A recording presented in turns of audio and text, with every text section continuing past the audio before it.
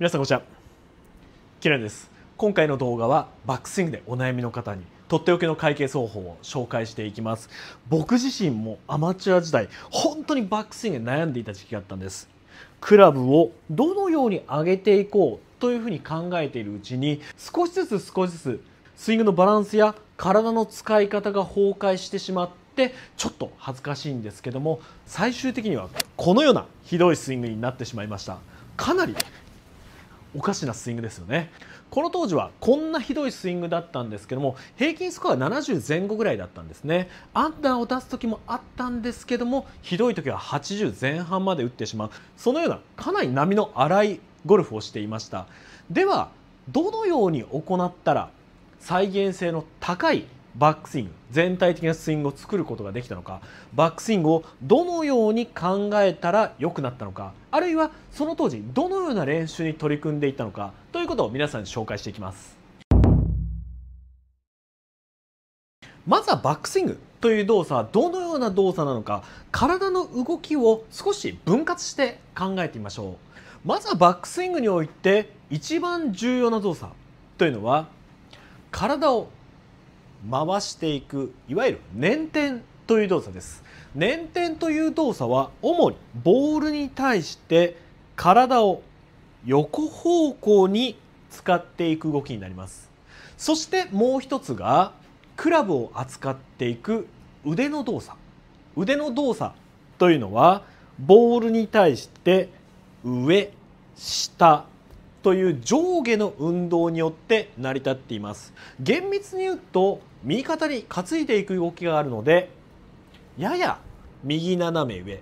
からの左下の動きになってくるんですがスイング全体の大きな動作としては上下という単純な動作で考えてください。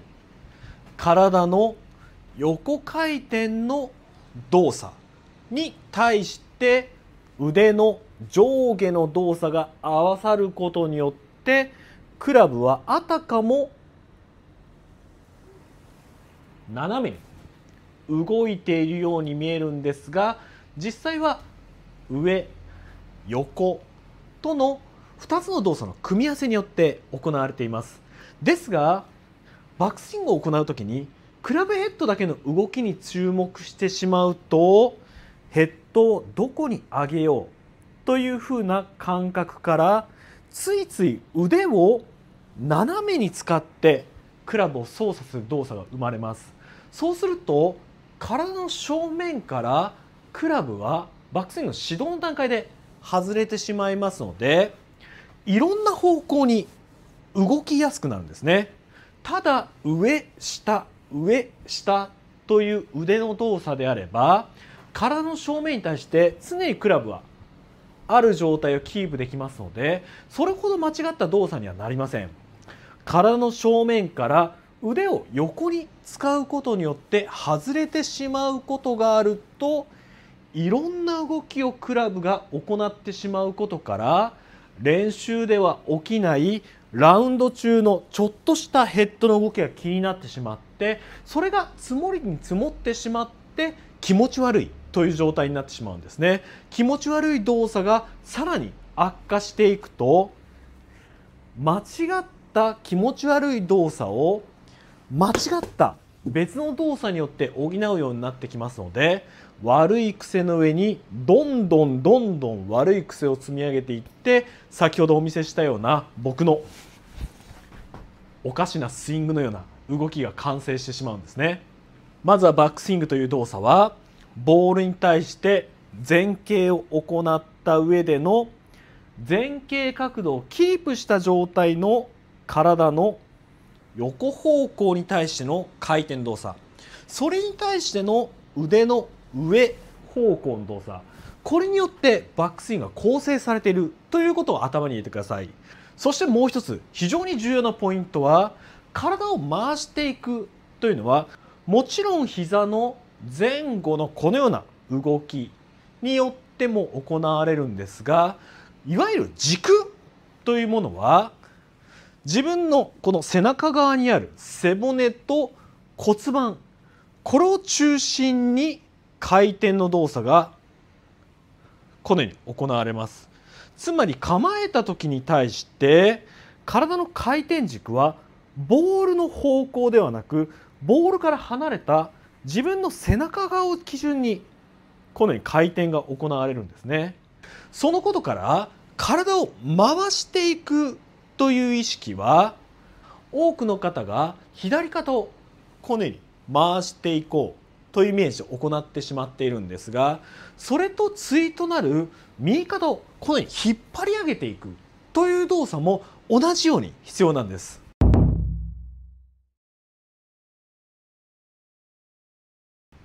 左肩を前に顎の下に潜り込ましていくだけではなくてそれと対となる右肩をぐぐぐっと引いていく。そうすることによって背中側にある背骨に対してしっかりとした回転軸を作ることができるんです。そしてその回転軸を正しく作っていくために右肩にくっついている右腕左肩についている左腕はこのような使い方のイメージが必要です。右肩を引く左肩を前に出す。このような左右対称の対となる動きを作っていくためにはクラブを持った腕は右手は引っ張り上げていく。左手はその対となる動作。左手は押し込んでいく。このような動作を作りながら体の回転を促しなおかつクラブを上方向に上げていく。まずはこのイメージでちょっとお手本としてバックスイングを行っていきますので後方から見てクラブのヘッドの動きがどのようになるのか見ていきましょう。ヘッドの動きがより分かりやすくなるために構えた時のスイングプレーンのラインを引いておきます。このスイングプレーンのエリアに対してヘッドや手元が動いていくというのが正しいバックスイングが行われているという一つの基準になります。右手と左手のこの引っ張り合いのてこの関係がより分かりやすいように少し手元を離したスプリットハンドで握っていきます。ゆっくりクラブを上げていきます。右手を引っ張り上げるように体を使っていきます。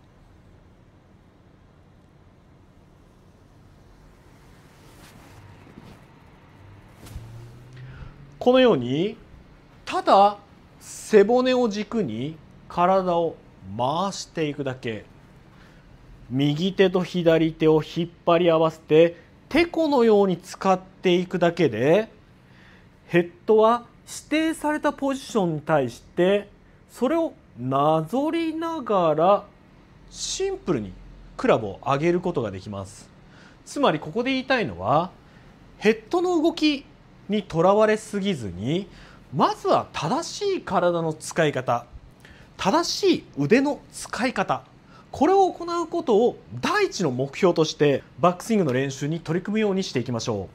う。では今回のドリルを紹介していきます。使用クラブは今9番アイアンを持っていますがこのようなショートアイアンで行っていきましょう。ドリルの手順は非常にシンプルで簡単です。まずはいつも通り正しい構えを作っていきましょう。特に重要なのはしっかりとした背骨を軸にした回転の運動を行うために骨盤を前傾させて膝にゆとりを持った構えを作ってください。前傾がよくわからないという方であれば気をつけしてお辞儀をする。お辞儀をした時のこの折れ曲がったところこれが骨盤の下部になりますのでこの骨盤の下部からしっかりお辞儀をしてあげて前傾をします。膝を曲げて前傾をしてこの状態で構えていきます。手元はアイアンの場合腕がだらーんとしたところでこのように握っています。肩の真下に手元が来るような形というふうにイメージしてください。そうしましたらこの時に手元をこのようにインターロッキングやオーバーラッピングで握らずに少し離した状態でベースボールグリップで握ってください。クラブを上げていく時に右手を少しずつヘッドの方に滑らせながらクラブを持ち上げていく引っ張っていくようなイメージでバックスイングをググググググと行っていきます。最終的にはかなり背中側に向かって右手をギュッギュッと引っ張るようなイメージ。このようなイメージでバックスイングを完成させてください。正面から見るとまずは正しく前傾をした構えを作ったら右手を少しずつスライドさせていってトップの地点までぐーっと引っ張り上げていく。クラブを引っ張り上げていく。そのようなイメージでバックスイング行っていきます。ここまで上がったら手元を元の位置にスーッと滑らせて戻してスイングを行っていきます。まずは素振りから行っていきましょう。膝にしっかりゆとりを持たした状態で前傾をして右手でクラブを持ち上げながら引っ張り上げていきます。そうすると右胸が引っ張られて開くようなストレッチされた状態になると思います。これが正しい捻転されているという動作ですね。正面から見ると右の肩甲骨が見えている。これが最大限捻転されているという状態ですね。前傾の角度も引っ張られて持ち上がらないようにしていきましょう。引っ張り上げて元に戻してこのように振り抜いていきます。実際にボールも打ってみましょう。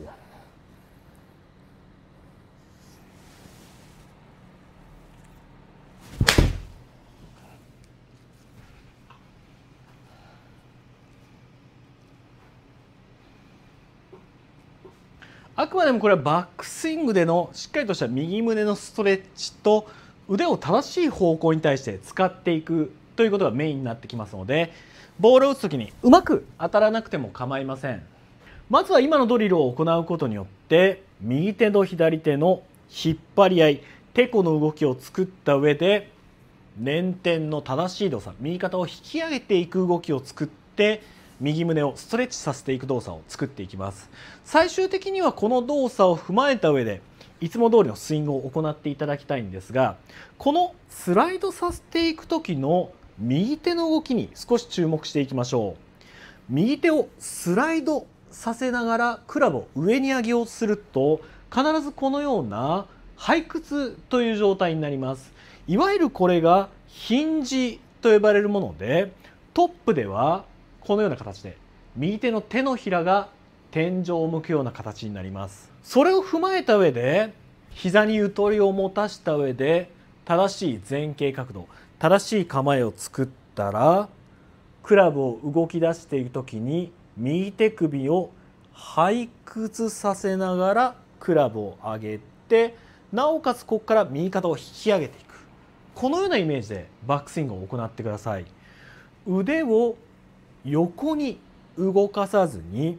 クラブのヘッドを右手首を背屈させることによって上方向に持ち上げていく。この動きが正しい捻転動作。そして腕の上方向の動作を作っていく上で非常に重要なポイントになるんです。右手首を背屈させながら体を捻転腕を上に動かしていきます。その後でダウンスイング。このようなイメージで最終的にはスイングを行えるようにしていきましょう。